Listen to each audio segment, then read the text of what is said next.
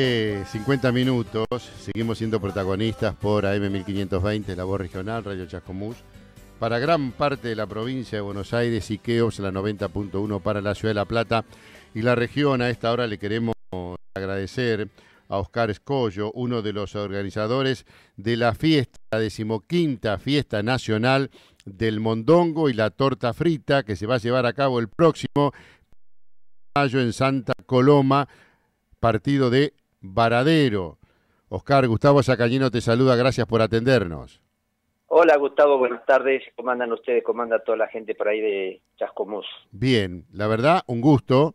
Cerrando los ojos, imaginando, primero la torta frita. Creo que hay una torta frita eh, grande eh, o distintas maneras de hacer torta frita, nos vas a explicar, porque aquellos que teníamos como merienda principalmente un día de lluvia, buñuelos, pasteles o torta frita, donde, o torrejas, donde no había facturas en esa época, me parece que hablar de torta frita, de pasteles, buñuelos y todo ese tipo de cosas y empanadas, se nos hace agua, agua a la boca. Bueno, contanos, es la decimoquinta fiesta, ¿no? Es la decimoquinta fiesta. Exactamente, decimoquinta fiesta, exactamente. Después de dos años de, no poderla realizar por el efecto de esta la pandemia, este, eh, bueno, vamos a poder realizar la decimoquinta fiesta, exactamente. Ubicame a Santa, Coloma, sí, discúlpame, ubicame a Santa Coloma. se encuentra en la ruta provincial 41, Ajá.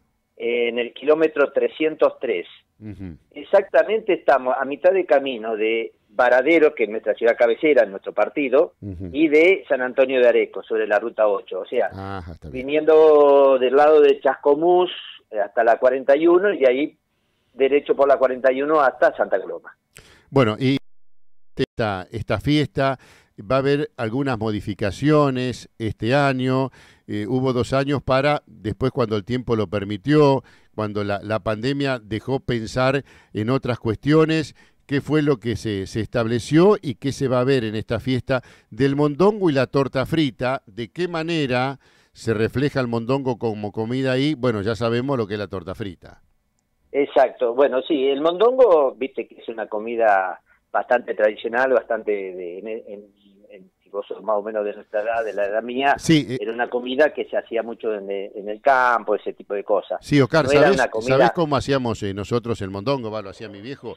En esa época nosotros teníamos eh, muchos perros, eh, ovejeros alemanes, entonces en la, en la carnicería te daban el, el mondongo, prácticamente todas las vísceras, y mi viejo lo, lo, pelaba, le sacaba esa especie de librillo, lo lavaba bien y lo hacíamos a la parrilla. El callo del ah, mondongo... Mira, a la parrilla, nunca lo he escuchado a la bueno, parrilla. el callo del mondongo... Sí, bueno, el callo del mondongo, eh, bárbaro. Ahora, la otra parte, exacto. por momentos, si se cocinaba un poquitito, te salía crocante, ¿no?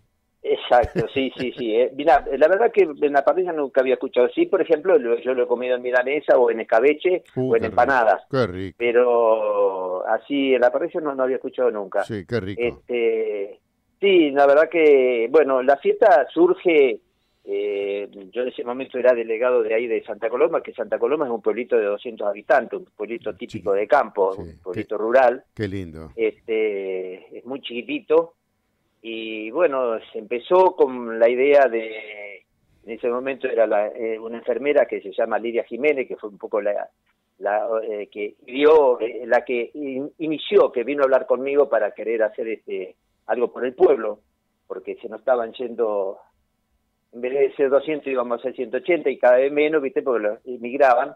Claro. Y algo para que la gente no se vaya y empiece a, a, a ganar su, su dinero. Uh -huh.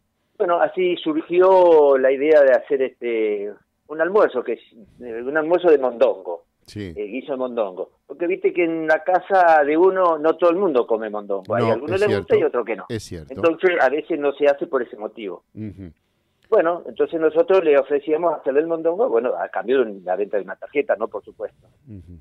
Pero empezamos a idear a ver este, que la gente no se nos vaya a la tarde, que se queden y que sigan gastando, porque nosotros que necesitábamos Recaudar. dinero, claro. eh, recaudación, para empezarlo a invertir en el pueblo, en cosas que se necesiten para el, para el pueblito. Uh -huh. Y bueno, más o menos ahí se fue armando lo que es la fiesta y surgió la idea del primero de mayo, un día que nadie trabaja, un día que siempre es feriado, caiga como caiga, ¿viste? No, no, no se modifica, no se cambia, entonces vos no le cambias la, la cabeza a la gente Este año se hace el 18 porque lo trasladaron al el, feriado del 18.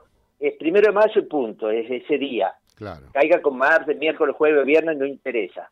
Entonces la gente le, empezó a quedar grabado ese día y bueno, y ha tomado, la verdad, una trascendencia que ni nosotros ni en nuestro sueño de juventud pensábamos que iba a tomar este semejante trascendencia la fiesta, ¿no? Oscar, ¿cuánta gente se, se acerca y más o menos en promedio? Mira, la última, la última vez, hace dos años atrás, anduvieron en alrededor de 15.000 personas. ¿15.000 personas? Sí, sí. Ustedes dicen, nos están invadiendo, somos 200. Eh, te juro que, de verdad, te lo digo, el pueblo es chiquito, porque son 200 habitantes, eh, había quedado chico para la gente, para los autos. Y, empezaron a estacionar para la entrada de la ruta, que son más o menos 3 kilómetros, todo pavimentado, y había autos de los dos lados, casi llegó hasta la, hasta la ruta, los mm. autos. Por ahí la gente tenía que caminar casi de la ruta hasta hasta la fiesta casi 3 kilómetros algunos, los últimos. Bueno, Oscar, prepárate porque tremendo. después de dos años, me parece que las expectativas eh, pueden superar esa cantidad de gente, ¿no? Y sí, puede ser. El tema es que a veces, lamentablemente, en tanta cantidad de gente, a veces no podés atender a todo el mundo de la misma forma, ¿viste? Porque te, supera, te, pasa, te pasan por arriba. Es algo, eh, algo increíble. Vos levantabas una piedra y salía gente. El predio que nosotros hacemos la fiesta es el predio del ferrocarril, este, que son más o menos eh, tiene un monte, vos entras, eh, llegás al pueblito, tiene un monte de más o menos de 200, 300 metros más o menos, por 100 de ancho, un monte de eucalipto, viste que antes los ferrocarriles ponían eucaliptos en, las estaciones, sí. después hay un espacio libre de más o menos 200 metros más, donde hay una placita, donde hay una cancha de fútbol, este, este, quedó un galpón del ferrocarril, que no, gracias a Dios no, no lo sacaron, un galpón grande, y después sigue termina con otro monte de, eucaliptos más o menos de 200 metros por 100 de ancho. Y desde el primera planta de eucalipto hasta la última planta de eucalipto tenés gente. Tenés gente sentada en la vía, tenés gente sentada en la estación del ferrocarril, tenés gente sentada en la calle. Eh, eh, en realidad nosotros no, no le decimos esta es la ubicación, no, no. Cada uno se sienta donde tiene ganas. Claro. ¿Viste? No...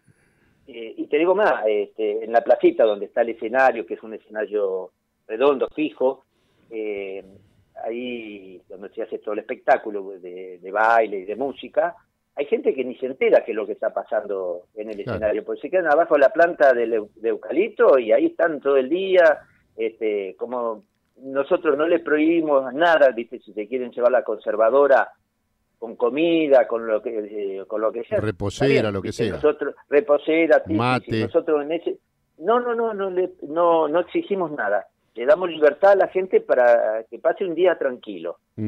y, después nosotros, dentro del galpón, se venden el montón y la torta frita, ¿no? Eh, contame, ¿hay otro tipo de, comidas? ¿Qué tipo de torta fritas? ¿Hay distintas eh, maneras de hacer la torta frita? ¿Una sola forma, la tradicional, y son todas iguales? ¿Cómo es eso? No, mira, eh, sí, hay dos tipos, ahí sí hay, aparte del mondongo, hay dos cantinas grandes, eh, que una la manejan el centro tradicionalista de ahí de Santa Coloma, y la otra la manejan los chicos de rugby, que es un equipo de rugby de acá de Varadero, eh, que están estaban necesitando porque son manejan más o menos 150 chicos y viste que sacan de la calle y el costo es muy grande para ellos. Entonces eh, nos pareció importante y la, propuesta que nos, presentaron, por eso se la dimos a ellos. Últimamente la venían haciendo los bomberos voluntarios, pero bueno, no quisieron hacerla más, pues estaban cansados. Después. Entonces, ya viste, la gente, uno va cumpliendo años, ¿no?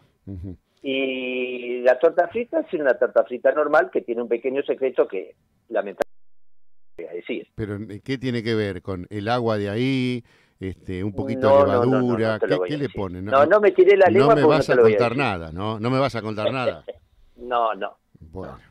Eh, que te puedo asegurar, es exquisita. Sí, no, me imagino, me imagino. Es exquisita. Eh, no porque lo digamos nosotros, que somos los organizadores, es, eh, es lo que te dice la gente, y por algo se venden tanto. Se están vendiendo más o menos en ese día unas 800 docenas de, de torta frita. Sí, mamita. Qué lindo, ¿eh? ¿Y, el mondongo lo hace el tipo que hizo el mondongo? Sí, el mondongo es, tradicional, viste, mm, poroto, garbanzo, bueno, todo lo que es verdura y especie, el, el, mondongo en sí, y después un poco de papa para levantarlo un poco, porque para el mondongo no es nada nada extraordinario ni nada del, del otro mundo. Bien sencillo, bien de la época que cuando eh, viste uno tenía solamente mondongo, bueno, era eso. Porque después vos en tu casa le pones lo que quieras. Sí, chorizo colorado, poroto, garbanzo, panceta, poroto, lo que vos quieras. Después sabés cómo transpirás, ¿no? Claro, este es un mondongo bien tradicional, bien criollo. Es el mondongo, poroto, garbanzo, eh, todo lo que es verdura y nada más. Eh, no ah, tiene otra cosa. Y oh. papa, y un poco de papa para, eso sí, se lo agregamos por, para, para que rinda un poco más, ¿viste? Porque si no, es imposible. Y se, porque se cocinan más o menos 600 kilos de mondongo, ¿viste? ¿Para hacer cuántas porciones? Y más o menos deben andar en 1500 porciones, más o menos. Más o menos por ahí. Oscar, con la, con la mano en el corazón, además de comer, ¿qué haces vos en la fiesta del mondongo y la torta frita? Hablo con ustedes.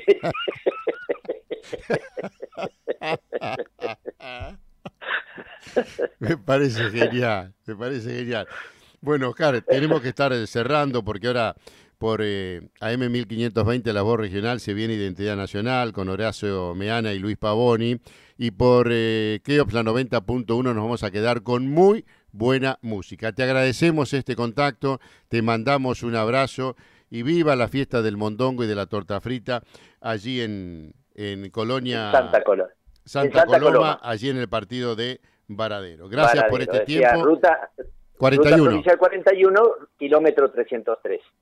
Te mandamos un abrazo y que todo salga de la mejor manera. Bueno, muchísimas gracias y, eternamente agradecido por la difusión que nos da. Al contrario, gracias por eh, mantener eh, vivos los valores eh, de, este pueblo de, de 200 personas que va sumando más gente que cuando pasan por ahí seguramente se van a dar cuenta cuántas cosas no necesitan y cuántas cosas tienen que valorar que no valoran. Te mandamos un abrazo grandote. Lo mismo para ustedes, un abrazo. Bueno, gracias. Hablamos con Oscar Scollo, uno de los organizadores de la fiesta decimoquinta Fiesta Nacional del Mondongo y la Torta Frita, domingo primero de mayo en Santa Coloma, allí